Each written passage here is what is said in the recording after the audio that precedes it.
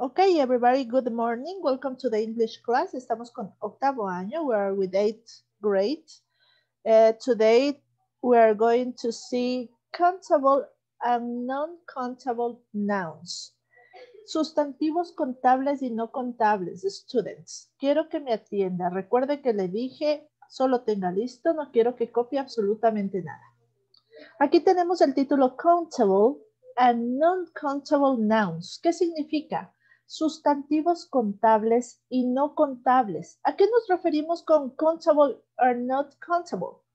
Cuando decimos de sustantivos contables, estamos hablando de sustantivos que se pueden contar, como la palabra dice, de uno en uno. Es decir, que podemos palparlo y contarlo separando de uno en uno. Esos sustantivos, usted sabe, sustantivo es pues todo lo que tenemos alrededor y lo podemos tocar. ¿Los esferos son contables? Sí. These are countable noun. One pen, two pens, three pens. The books. One pen, 100 books, eh, 100 pencils. Todo lo que podamos contar se llaman countable nouns. Non-countable nouns in English. Los no contables en inglés se refieren a todos aquellos sustantivos que pues simplemente no los podemos separar en unidades y decir uno. Por ejemplo, yo no puedo decir un aire. Entonces la palabra aire, el sustantivo aire, es non-countable. El sustantivo aire no es contable.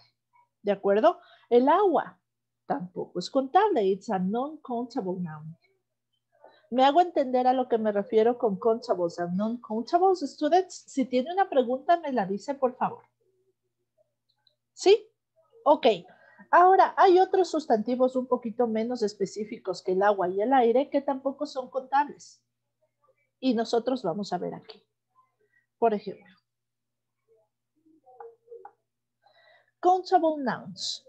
Atentos aquí. Cuando hablamos de sustantivos contables, debemos hablar de cajón, de singular and plural, porque nosotros contamos uno, ¿cómo podemos contar varios? Entonces, cuando contamos varios, estamos hablando de plural nouns. And we have, for example, basket, egg, toothbrush, onion, todo aquello que se pueda contar y que podamos separar en uno, que son varios. Ahora, ¿qué pasa cuando es uno solo? Tenemos nosotros a, an que ya lo habíamos trabajado, yo creo que sí se acuerdan. Micaela, ¿se acuerda usted qué significaba a o an? Micaela Zuleta.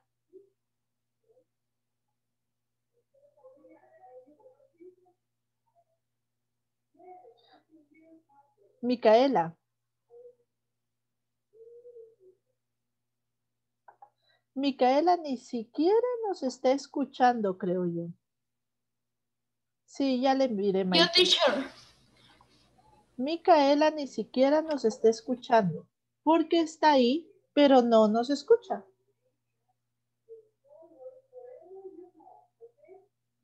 Micaela. No, mire usted. A ver, eh, Maite, help me please. Ya, el A utilizamos cuando la siguiente palabra comienza por, no por vocal, sino por... Ah. ¿Estamos bien? An utilizamos cuando la palabra empieza por vocal. Ok. Y a utilizamos cuando la palabra empieza por consonante. ¿Y qué significan las dos? ¿Cuál es the meaning of a, an? Un, una. Un o una. Perfect. Thank you, Maite. Este artículo, este se llama es un artículo. The article a, an tiene el significado de un o una, no uno. ¿Por qué no uno? Simplemente porque uno es one. ¿De acuerdo? Uno es one. Por lo tanto, no es el significado que queremos dar. ¿De acuerdo? A ver, espérenme un segundito. Estefanía Padilla no puede ingresar. ¿Listo? Listo. Entonces tenemos a, an. Y como decía la compañera, significa un o una, pero el uso es diferente. Nosotros utilizamos solo a cuando la siguiente palabra empieza con consonante, a consonant. B, C, B, eh, F, M, etc. Cualquier consonante. A basket, una canasta. Pero yo no puedo decir a, eh. Hasta suena raro, mire, eh, eh. Parece que me atranco. Por eso es que no utilizamos solamente a con palabras o con nouns que empiezan con vocal.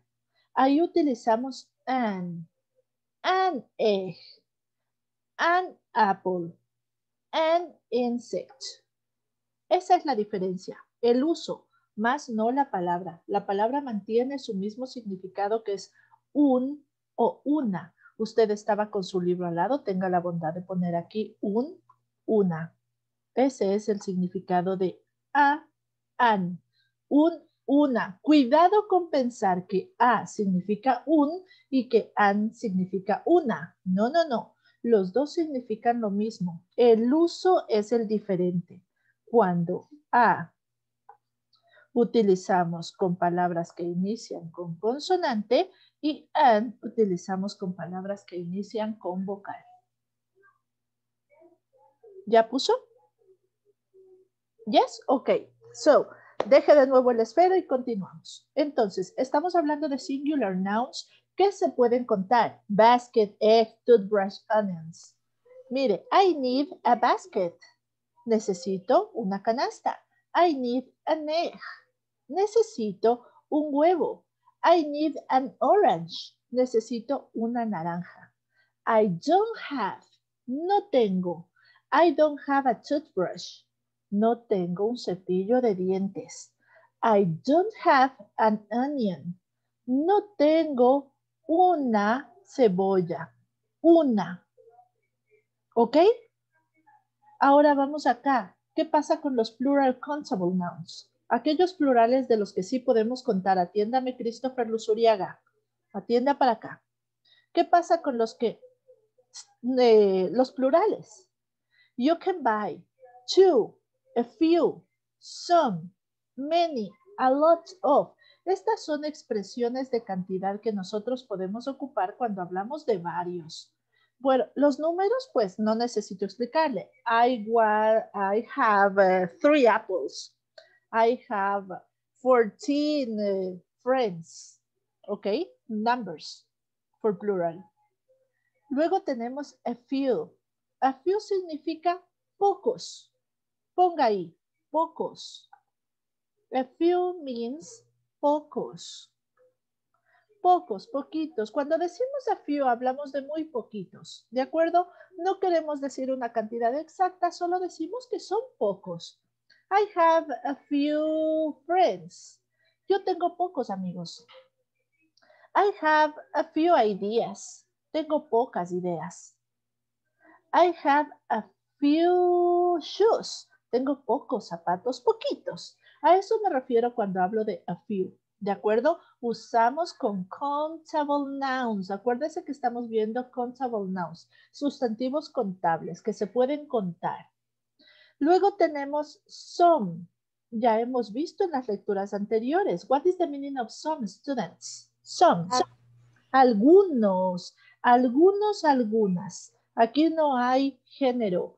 Si hablamos de algunas velas, I have some candles. Si, hablamos de algunos eh, esferos, I have some eh, pens. Algunos y algunas utilizamos el mismo, la misma palabra, ¿ok? Some. ¿Qué sí, a few significa pocos. Some significa algunos. ¿Qué significará many? Many. Muchos. Muchos. Muchos.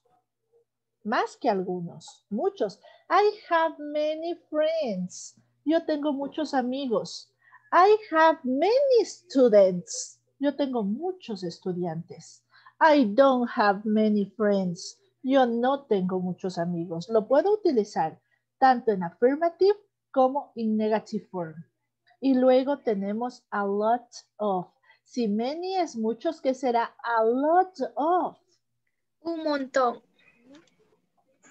Muchísimos, muchísimos. Como decía la compañera, un montón. Correct. Pero vamos a poner muchísimos. Es más que many. A lot of, cuando nosotros encontramos una traducción, usamos la, eh, eh, encontramos la palabra mucho, pero hablamos de que a lot of es más que many. I don't have many friends. I have a lot of friends. Tengo muchísimos amigos. Si hablamos que el profesor Juanito trabaja con todo la escuela y colegio y yo, con, yo trabajo con ocho grados, I have many students, but the teacher Juan have a lot of students, ¿verdad? Muchísimos, muchos más que yo. Eso significa a lot of. En affirmative form podemos usar numbers, a few, some, many, a lot of. Pero en negative form hay algunos cambios. ¿Yo puedo usar números? Sí. I don't have two pens. I have only one pen. Yo no tengo dos esferos, tengo solo uno. Entonces, puedo utilizar. I don't have, mire aquí, ya no puedo decir few. Ya no puedo decir pocos porque digo que no tengo.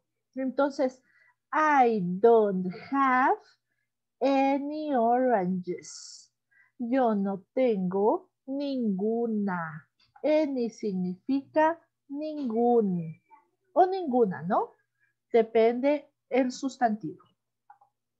Ningún, ninguna. I don't have any oranges. Yo no tengo ninguna naranja. I don't have any donuts. Yo no tengo ninguna dona. Ya no uso a few. Ya utilizo directamente ningún o ninguna.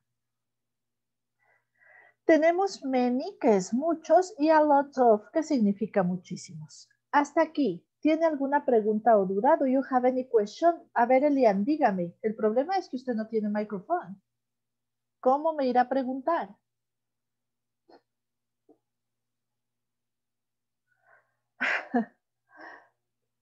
¿Ya? El problema es que estamos sin micrófono. A ver, le voy a activar el chat para que me haga la pregunta, después la leo. ¿Le parece? ¿Listo? Ok, solo Elian escribe porque es el único que está sin chat. ¿Alguien más tiene una pregunta? Somebody has a question? No, ¿estamos seguros? Entonces, chicos, cuando hablamos de contables, hablamos de cosas que se pueden contar. ¿Qué se pueden contar? Dice, ¿por qué ella no se usa a few. Ah, porque ya no se usa a few. Porque a few significa poquitos y solamente lo utilizo cuando tengo esos poquitos, no cuando no tengo. Porque cuando no tengo poquitos significa que no tengo nada. Por lo tanto, utilizo any. ¿Ok? Por lo tanto, utilizo any. Cuando yo no tengo poquitos, yo no puedo decir, no tengo poquitos amigos. No, pues si no tengo amigos, digo, yo no tengo ningún amigo. No digo no tengo poquitos, ¿sí? Por lo tanto, few deja de tener sentido y utilizamos any, Elian. ¿Contestada tu pregunta? Yes? Ok. Vamos entonces a sacar el cuadernito. Take out your eh, notebook. Sacamos el notebook. Write the date. Ponemos la fecha.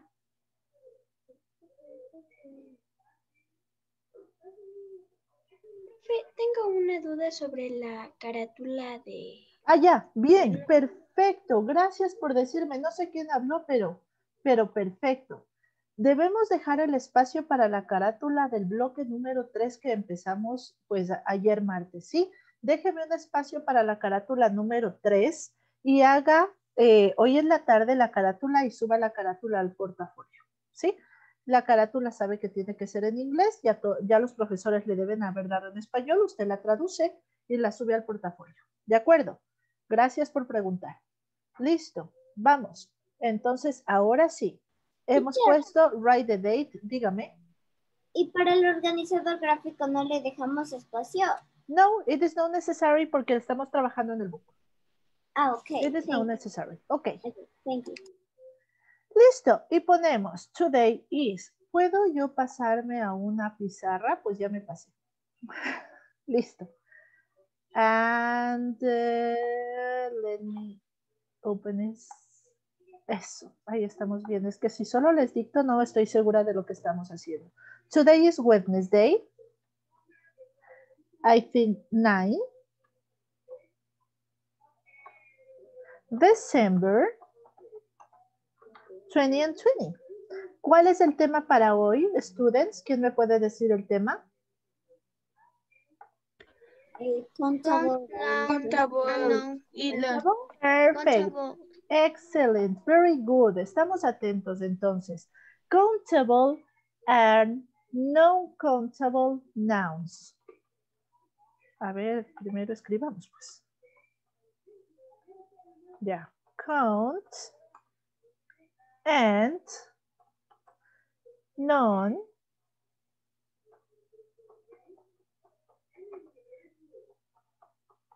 and non-countable nouns. Listo, tenemos countable and non-countable nouns. ¿De acuerdo?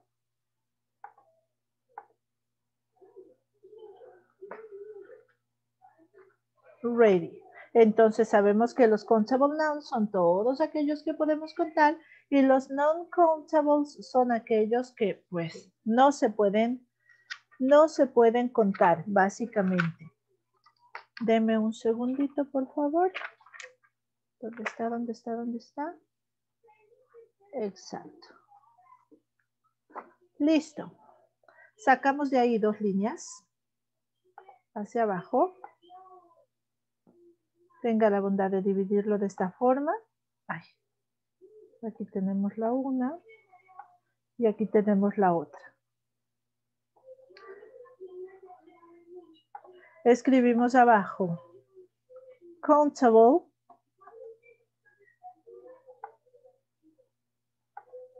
Y acá non-countable.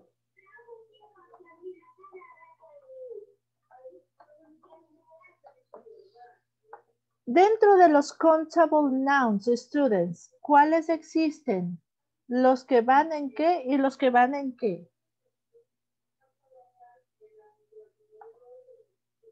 Singular and plural. Correct. Singular and plural.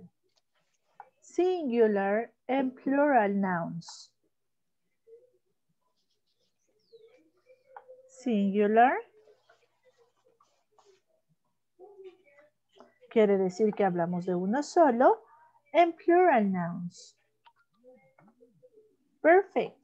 Los non-countable no va a pasar eso, porque obviamente como no son contables, no existe nada de singular y plural, porque no se puede contar uno o no se pueden contar cinco o varios. Por lo tanto, en esos no existen singular and plural. Listo. Tenemos singular. Cuando utilizamos singular nouns, ¿cuáles son los artículos que usamos? ¿Se acuerda? Um, Correct. Very good. Tenemos a, que significa un o una. Y tenemos an, que también significa un o una. Y el uso es diferente. ¿Verdad? Y el uso es el diferente.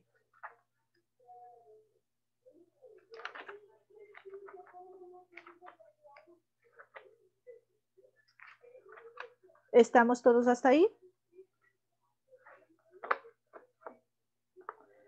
Me avisa si no. Listo. Cuando hablamos en cambio del plural, tenemos varias palabras con las que podemos decir mucho. Tenemos las numbers, two, three o lo que sea. Tenemos a few, que significa pocos. We have some. We have many. Y we have a lot of. ¿Ok?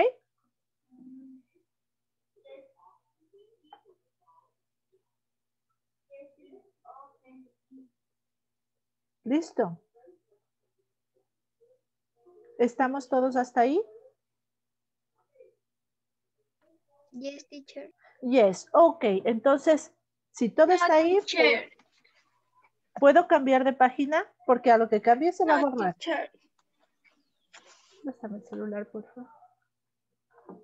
Thank you. Listo, voy a tomar una foto.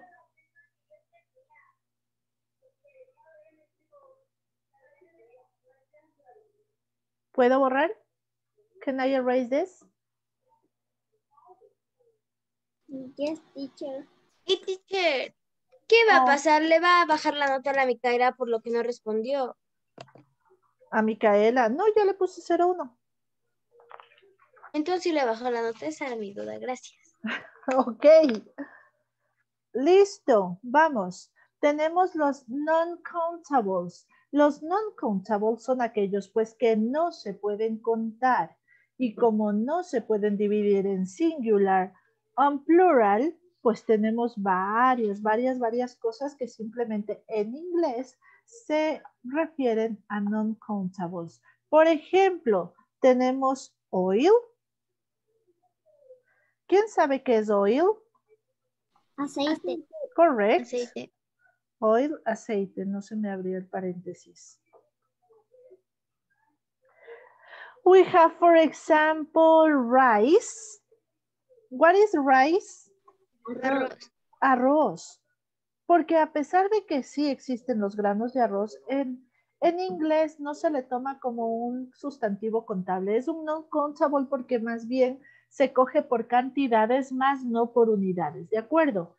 Otra cosa que no se puede contar, les hablaba antes, air. What is the meaning of air? Aire. Aire, correct. Can be love. What is the meaning of love?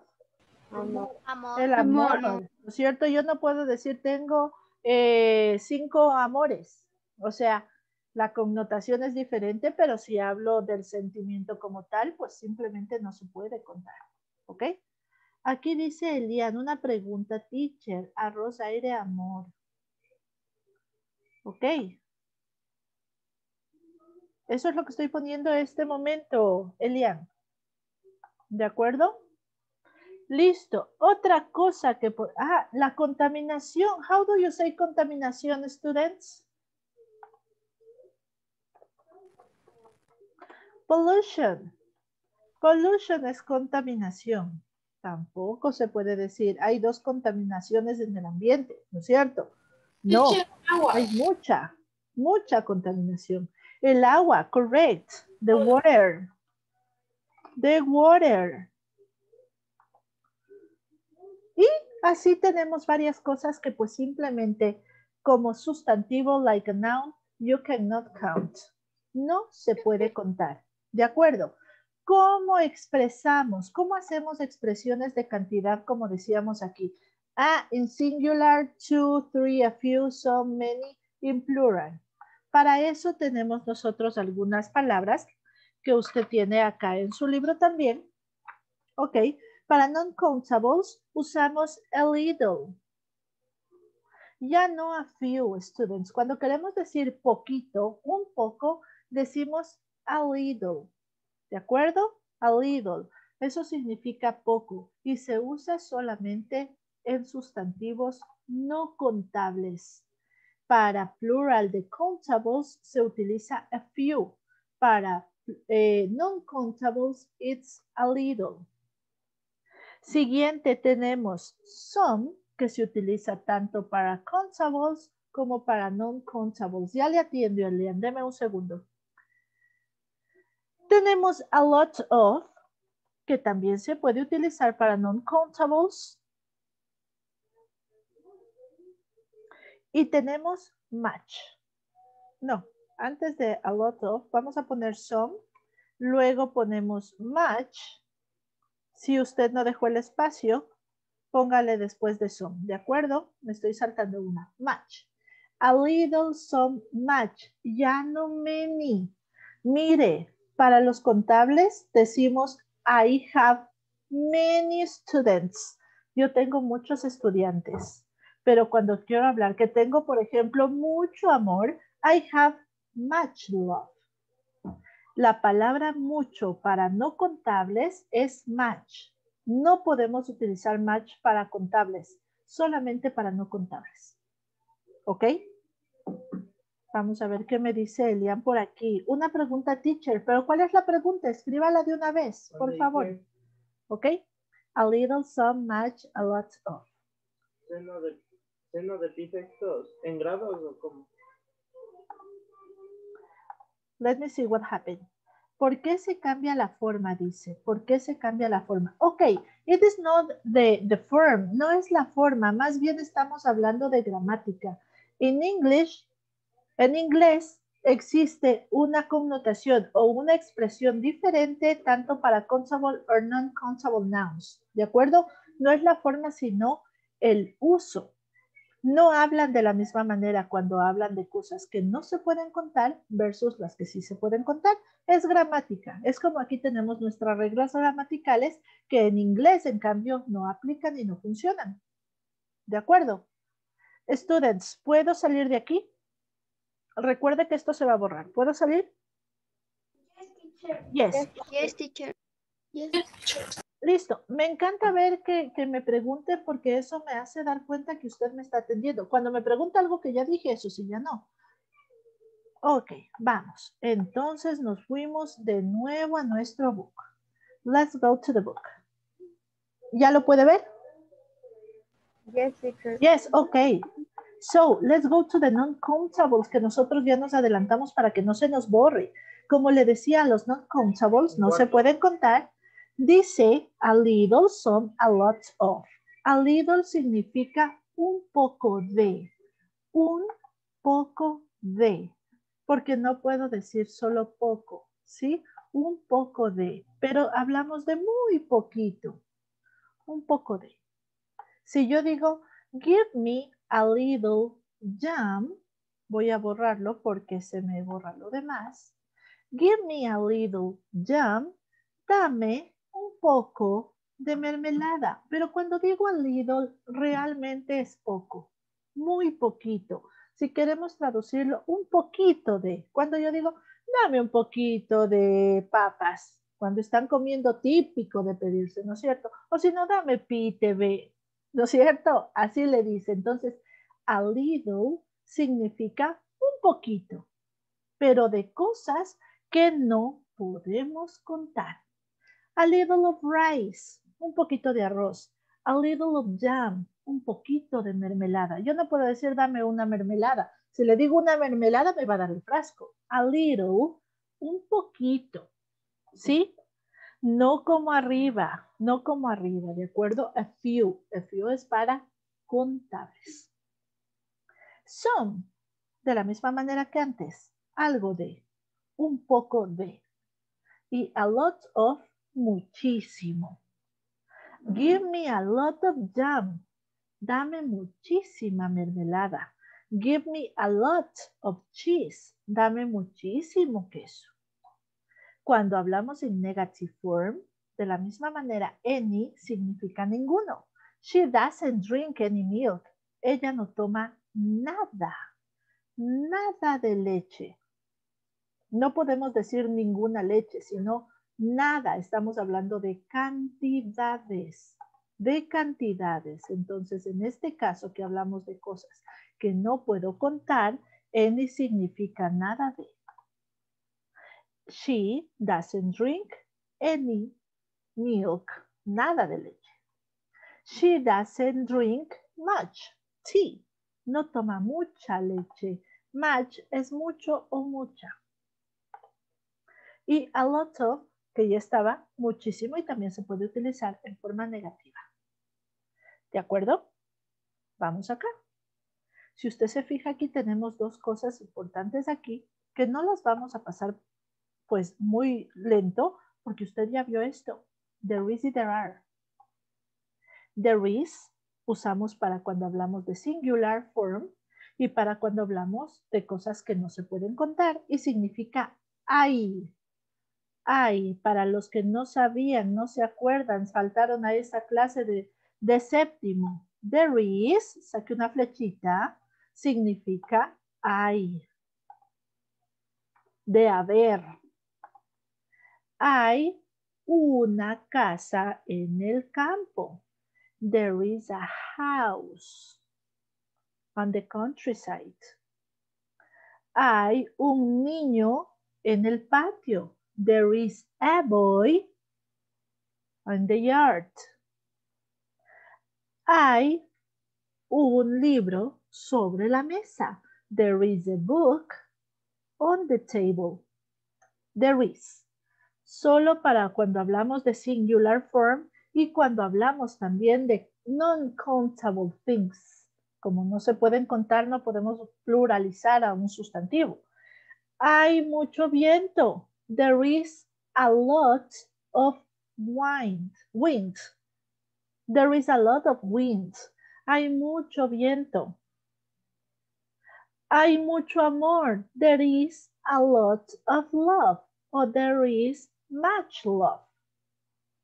Si quiero decir muchísimo, a lot of. ¿Ok?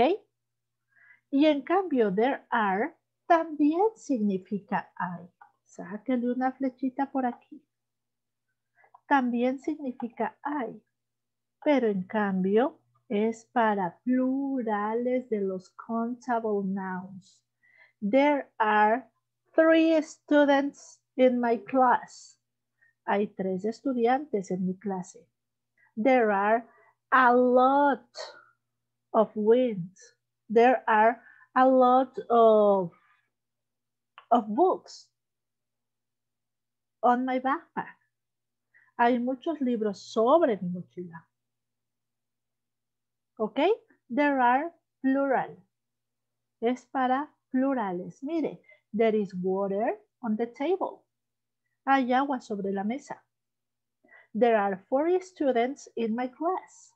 Hay 40 estudiantes en mi clase. ¿Ok? Do you have any questions, students? ¿Alguna pregunta tal vez? Yes or no? ¿Están tan calladitos? Teacher, ¿por qué se utiliza a lot of en afirmativas y negativas? Porque yo puedo decir, I don't have a lot of dreams. Yo no tengo muchísimos sueños, tengo pocos. Entonces yo puedo utilizarlo tanto en affirmative como en negative form y sigue teniendo sentido. ¿Sí? Yo no tengo muchísimos amigos, yo no tengo muchísimos, tengo pocos. I don't have a lot of. Lo puedo utilizar perfectamente en forma afirmativa o negativa, ya sea para countables o non-countable. I don't have a lot of water. No tengo tanta agua, no tengo muchísima agua, tengo poca. I don't have a lot of water. No tengo tanta agua. ¿De acuerdo? Hablamos de cuando no tengo en demasía, no tengo demasiado. ¿Sí o no? Students. Yes? Ok, listo. Nos vamos a quedar hasta ahí. El día de mañana continuamos trabajando, ¿de acuerdo? Si no tiene ninguna pregunta. Ok, parece que no. See you tomorrow. Mañana sí califico lo que tenemos. Goodbye.